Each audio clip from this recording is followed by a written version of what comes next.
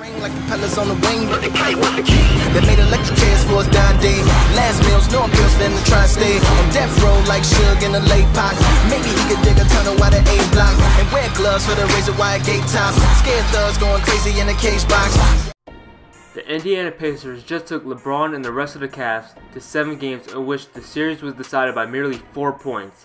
It was an incredible series and was really the first time that LeBron was challenged like this in the first round. The big question though, how did the Indiana Pacers almost stop LeBron's parade past the first round in which they were predicted to actually get swept? Now by all means, when I say almost stop LeBron, I'm not talking about shutting him down and holding him to like 5 points. LeBron has proven that he is a beast and will 99% of the time put up big numbers. So the last couple of years, actually really the last 7 years outside of the finals, LeBron has not been stopped in the playoffs, which includes the first round, semifinals, and conference finals. Huge reason to this is because he's had stars on his team, which includes Dwyane Wade, Chris Bosh, Ray Allen, Kyrie Irving, and Kevin Love. Now, don't get me wrong, LeBron is the main reason they've been in the finals in the first place, but having star teammates made the road easier. But this year, LeBron's playing out of his mind and just might be his best basketball. But even with this, LeBron is playing with no other All-Stars outside of Love who's been injured, LeBron is the only superstar on his team. So what seems like an impossible task that no team could beat the Cavs or the Heat when LeBron was there with a less talented roster. How do you beat LeBron when you simply don't have the talent to do so? Well, there is an answer and a way that the Indiana Pacers almost uncovered in their series. Now, the Indiana Pacers came short to the Cavs 105-101 in Game 7 at the time of this recording, so they have figured out how to beat LeBron in the playoffs when you just simply don't have the talent to do so. Now LeBron in the playoffs is a monster and he needs to be this this year because he is not fortunate enough to have a balanced team that he can contribute just as much as evenly as previous years. With this comes a lot of minutes for LeBron which looks as if it doesn't even affect him, but however it really does. See how the Cavs like to rotate LeBron on and off the bench is actually pretty smart technique in Ty Lue's book. LeBron will play 10 to 11 minutes in the first quarter and sometimes second quarter and will sit out the last 1 to 2 minutes. Now it sounds like it isn't much time, but in reality, Ty Lue takes LeBron out and almost immediately calls a timeout when the clock is winding down.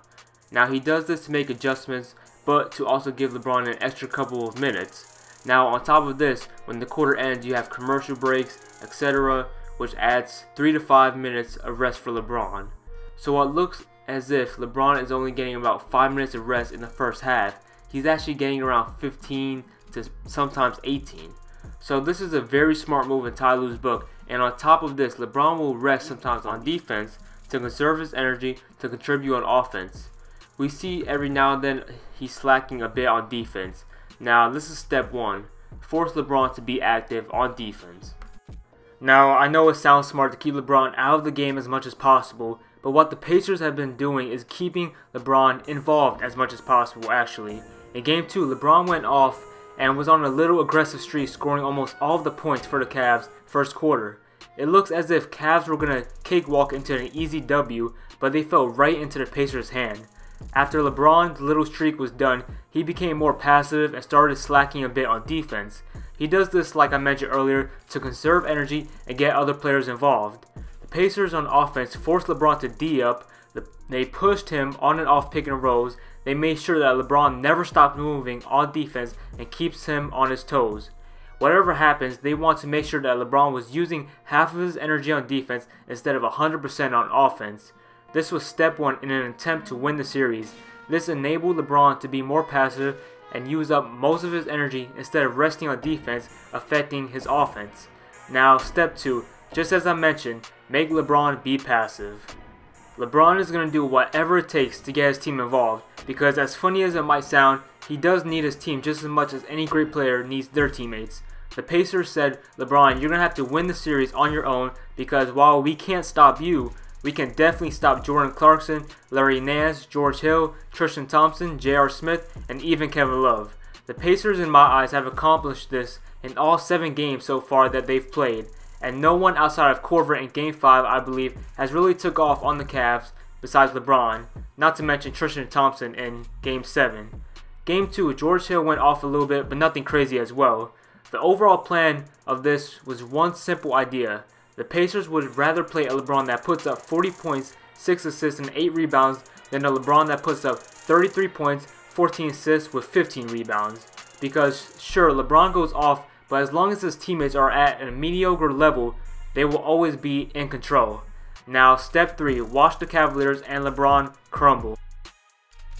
What I mean by this is since the Pacers have implemented this plan, they have almost shut off LeBron's teammates.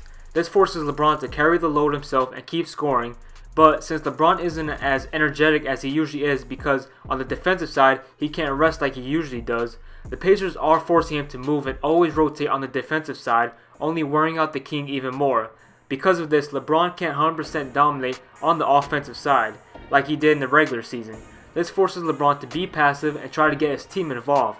But since the Pacers have already established control of LeBron's teammates by limiting their playing performance, their confidence is crushed. LeBron can't look for them for help, and LeBron, even if he's putting up big numbers like he's been doing, he can't always win by himself. So how to beat LeBron in the playoffs when you just don't match the talent? This is how. Whether the, place, the Pacers did or not, they uncover something teams just were not able to do. The Cavs may have got through the series, but the Pacers open up a door for teams deep in the playoffs to work on against LeBron and the Cavs. And obviously, easier said than done. LeBron, just because you know about this doesn't mean you can do it. But the Pacers have proved they can do it, they just came up short. The Pacers made every win by the Cavs a struggle and even blew out the Cavs on two separate occasions, Game 1 and Game 6, and was only 4 points short of dethroning the King himself in the first round, something no one's ever done. But like I mentioned earlier, sometimes there is no plan that can actually work against LeBron, and sometimes he's just too good where you just can't win.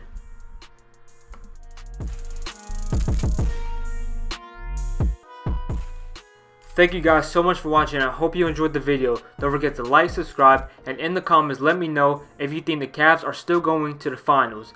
Follow me on Instagram and I'll see you guys later.